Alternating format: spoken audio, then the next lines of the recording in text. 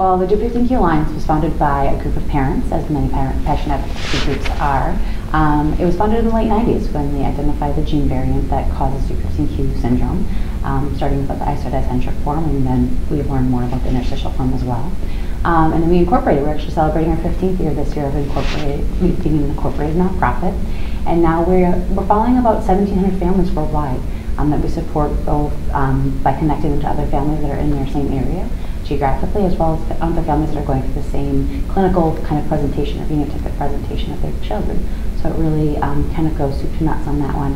Um, and then we really push for research and better clinical care for the kids that are um, struggling and helping families do that and how they find the best doctors that can support them and also educating physicians um, from our clinical experts to all the way down to you know those rural or smaller hospitals that are seeing the kids on a daily basis. Uh, so Dup15q syndrome is a genetic condition that it, can, it takes two different genetic forms. One's isodicentric, which ends up end up with an extra chromosome, so 47 chromosomes instead of 46. And then there's an interstitial format, which actually you have 46 chromosomes, but the extra piece is on that existing 15q. Um, what ends up happening is that kids are generally um, low tone when they're born. They're a little bit floppy. Um, and they miss the motor milestone, so that's kind of the first presentation and some, sometimes the first red flag that they may see.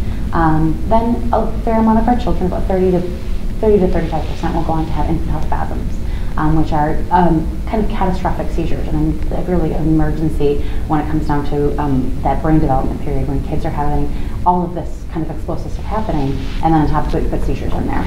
Um, then kids kind of tend to miss their language milestones, so they don't talk as early. Um, they start missing social milestones, um, and oftentimes are diagnosed with language, disorder, um, social deficits, and most of the time often autism or a form of autism.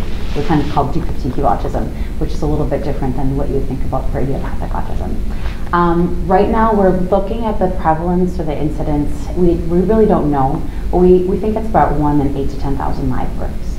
Um, so it's we follow about 1,700 families worldwide, but we're thinking there's many, many more that are either undiagnosed or walking around with you know, an autism diagnosis or an epilepsy diagnosis, and that's kind of where they stop. Um, they don't go and get the genetic, genetic um, diagnosis that would lead them to Dup15q syndrome. Uh, the diagnostic journey for people with Dup15q syndrome has really changed over the past 20 years or 25 years since we've been around.